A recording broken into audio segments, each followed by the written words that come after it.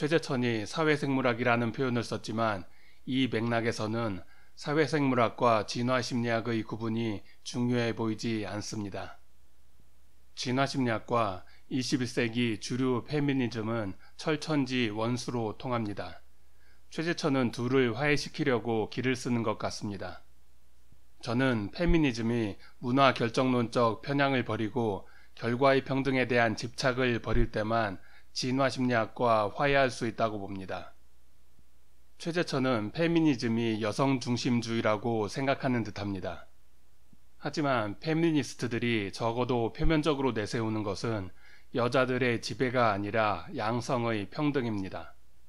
그들은 남성 중심주의 또는 남성 우월주의를 여성 중심주의 또는 여성 우월주의로 대체하는 것이 목표가 아니라고 말합니다.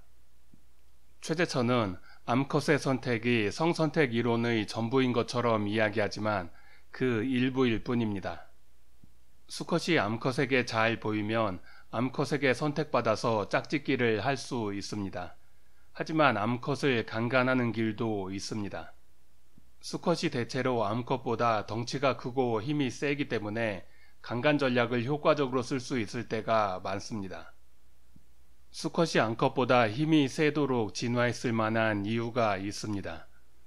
대체로 암컷의 부모 투자가 훨씬 크기 때문에 수컷들 사이의 짝짓기 경쟁이 훨씬 치열합니다.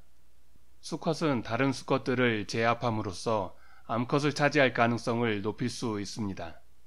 이 때문에 수컷이 암컷보다 몸집이 크고 사납도록 진화하는 경향이 있는 듯합니다.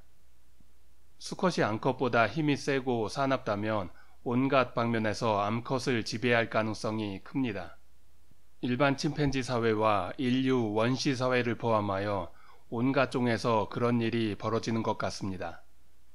예컨대 일반 침팬지 사회에서 암컷이 서열 낮은 수컷과 섹스를 하면 서열 높은 수컷이 암컷을 두들겨 팹니다. 최재천이라면 이것도 암컷의 선택권이라고 이야기할지도 모르겠습니다. 최재천은 다른 영상에서 일반 침팬지 사회와 인류 원시 사회에서 암컷들이 수컷들에게 지배당하지 않는 것처럼 이야기했습니다. 이런 식으로 이야기하면 돌대가리 페미니스트들의 선택을 받을 수는 있을 겁니다.